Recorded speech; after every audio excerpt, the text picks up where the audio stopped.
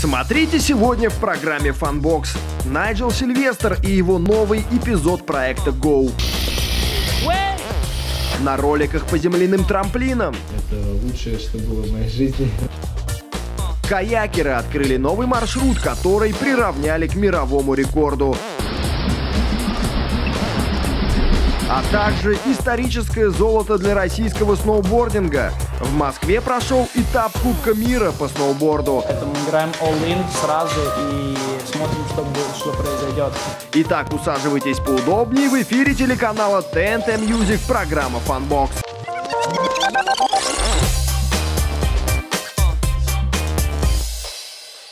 Друзья, привет! Меня зовут Глеб Болелов, и ближайшие 15 минут мы, как обычно, проведем в дружеской компании экстремалов всех мастей. Начать хочу с короткого ролика, который появился в сети во время новогодних праздников. Видимо, у Деда Мороза этот парень попросил бесстрашия.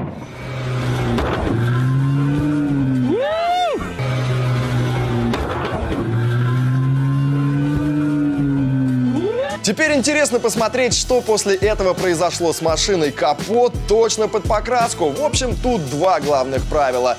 Первое – это вовремя прыгнуть, а второе, чтобы автомобиль был не твой. Ну а мы двигаемся дальше и хотим рассказать вам поучительную историю о том, что хайп – дело очень скользкое, и чтобы его удержать, надо постоянно задирать планку выше и выше. А поможет нам в этом звезда мирового BMX Найджел Сильвестр. Gotta walk with your head up. Uh, You gotta keep it up. Yo,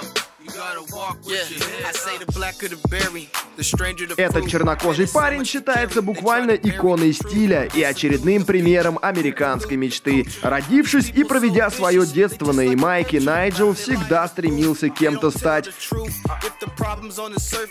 В окружении откровенных бандитов, коих в тех местах немало, он в легкую мог взять оружие в руки и превратиться в бэтбоя. Но однажды, попав в Нью-Йорк, его жизнь круто изменилась. В то время он уже катался на BMX и, оказавшись на Union Square, понял, что этот маленький велосипед может превратиться в его работу. Ну а потом, как в кино, усердная работа и дружба со звездами BMX-спорта начали давать плоды. Сегодня Найджел Сильвестр в свои 29 имеет ряд крупных контрактов, собственную модель наушников от доктора Дре, именные часы от еще одного известного бренда, а также является лицом компании одного из напитков, помогающего во время тренировок. Кроме этого, частенько светится в обществе известных рэперов Фаррелла, Кендрика Ламара и других. Одним словом, пацан пришел к успеху, причем каких-то крупных спортивных достижений у него нет, и многие называют его просто грамотным промоутером себя любимого. Полтора года назад Найджел Сильвестр выпустил видео под названием Go, в котором использовал отличный ход съемки POV, то есть от первого лица. В этом видео Найджел разрывал Нью-Йорк. Интересные переходы, необычные ракурсы, смешные диалоги, спортбайки и даже вертолет. При этом каких-то крутых трюков мы не увидели. Потом, через полгода, в свет вышла вторая часть этой эпопеи уже из Лос-Анджелеса. Постоянные зрители нашей программы наверняка помнят, что мы показывали его в одном из выпусков и в конце сказали, что если Найджел будет продолжать в таком же духе, то интерес к проекту будет угасать. И как в воду глядели. Перед Новым годом наш герой отправляется в Токио, где снимает третью серию. Если в первых видео он все же расчехлял какие-то трюки, то в этом он в конец обленился и на протяжении почти 7 минут просто гоняет по каким-то магазинам, фотостудиям и катается по городу. Эффектные переходы, типа упал с велосипеда, очнулся на татами, уже не выглядят так, как раньше. Зрителю хочется чего-то нового, свежего, необычного, а в итоге абсолютно предсказуемые кадры, которые, по сути, может снять любой среднестатистический классический BMX-райдер. Тут, если уж назвался прорайдером и звездой BMX-сцены, изволь держать марку. Гаси как змея и прыгай как тигр, но Найджел больше похож на простого туриста, путешествующего с камерой.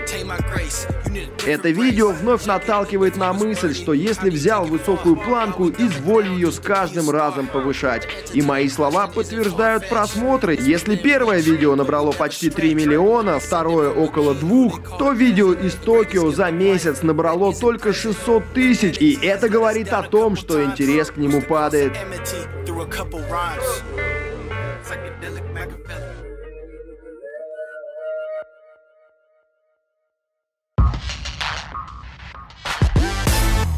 Такими темпами следующую часть эпопеи Go посмотрят только преданные фанаты Найджела Сильвестра, так что парню нужно собраться и, как нам кажется, уделить внимание именно трюкам. Ну а мы двигаемся дальше и переносимся в Москву, где прошел этап Кубка мира по сноуборду. В Рождество 7 января самые морозостойкие поклонники этого вида спорта собрались на грибном канале, чтобы увидеть выступления сильнейших спортсменов нашей страны, а также зарубежных звезд. Москва встречала русским 30-градусным морозом.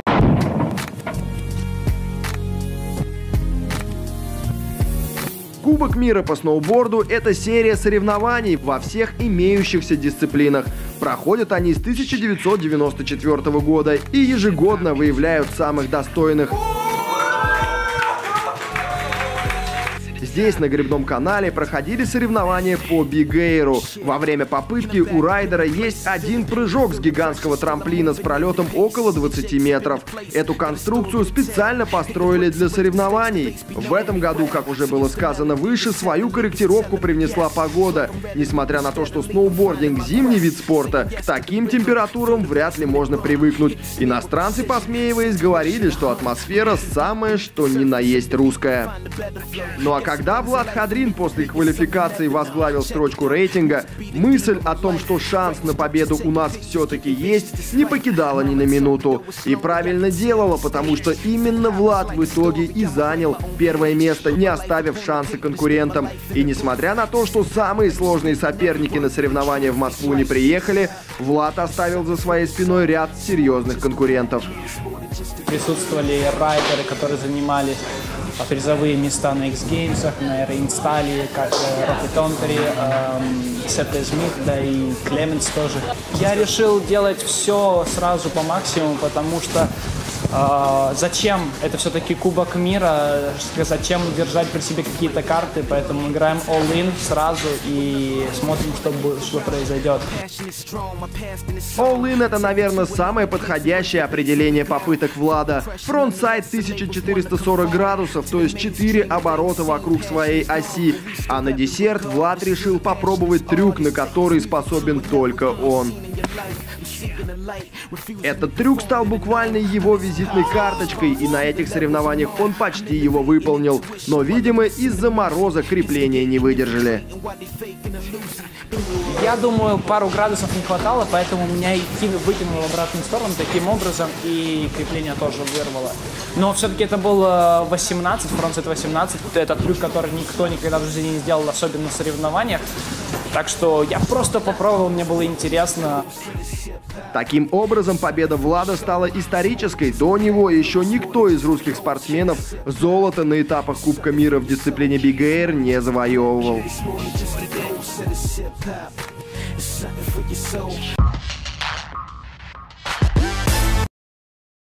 Всей нашей редакции поздравляем Влада и желаем дальнейших побед, тем более, что впереди целый сезон. Ну а из холода предлагаю перенестись туда, где потеплее, и посмотреть на самую дикую водную трассу, которую не так давно покорил Рафаэль Ортис, каякер с мировым именем. Этого мексиканца обожают на родине. Он стал первым, кто начал представлять Мексику на чемпионатах мира. Он покорил второй по высоте водопад в мире под названием Большой Банан – 42 метра. А чуть позднее добрался и до Новой Зеландии, где установил новый рекорд, упав с водопада высотой 57 метров.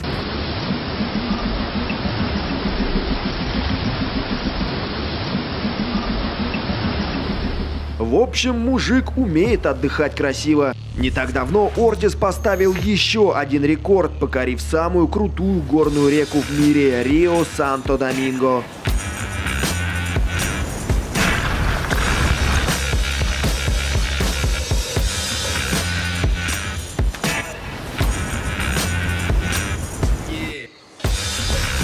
Источники говорят, что впервые он это сделал еще в 2013 но, видимо, то ли проплыл ее не полностью, то ли не успел запечатлеть это на камеру, а, как известно, в 21 веке не снял, значит, не было. Но Ортис, видимо, не очень расстроился и покорил ее еще раз, на этот раз под пристальным вниманием камер. А для того, чтобы было понятно, чем же эта река такая сложная, сделали даже графическое оформление.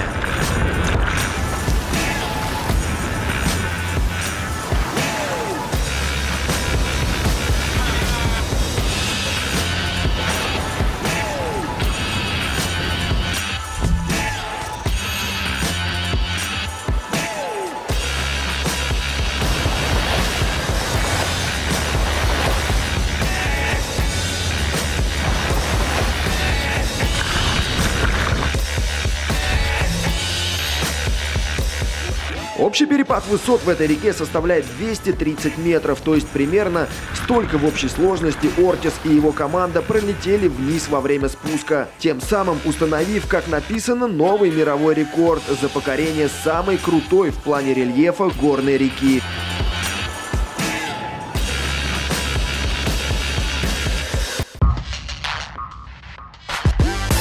Развлечение, конечно, не для слабаков. Упасть с высоты почти 60 метров вниз в маленькой лодочке Уверен, чувство уникальное. Интересно, чем еще удивит этот парень в будущем. Ну а мы двигаемся дальше, и на десерт у нас знакомство с сильнейшим роллером России Григорием Усенко. Постоянные зрители нашей программы помнят, что не так давно мы показывали небольшой тизер к его новому видео. И поверьте, такое вы вряд ли видели. Всем привет, с вами Григорий Усенко, и сегодня мы поговорим о нашем видео Dirty Beast. А, идея появилась просто. А, у меня очень много друзей, э, кто катается на BMX и маунтинбайке. И каждый раз, когда они катались на больших дертах, а, я смотрел все время с завистью на них.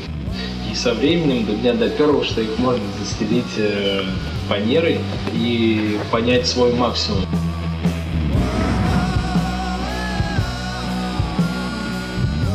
Никто в мире до этого не додумался, а может быть додумался, но не реализовал. Это было нелегко. А, надо было сначала придумать э, систему, чтобы фанера четко лежала, по радиусу, изгиналась и в то же время была максимально близко к земле. Это лучшее, что было в моей жизни в плане катания на роликах. Э, я получал максимальное удовольствие и хотел бы, чтобы эта дисциплина бы жила и проводились соревнования.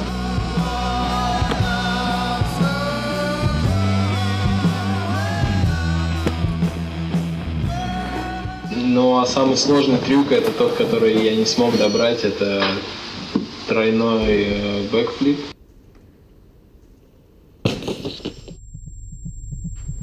Когда я упал и повредил плечо, кстати, с ним все в порядке, я ничего не сломал, я просто порвал мышцы и их соединили спицы. Ну что ж, друзья, на этом очередной выпуск программы Funbox подходит к концу. Для вас, как обычно, изо всех своих сил старался Глеб Болелов. Не болейте, пока!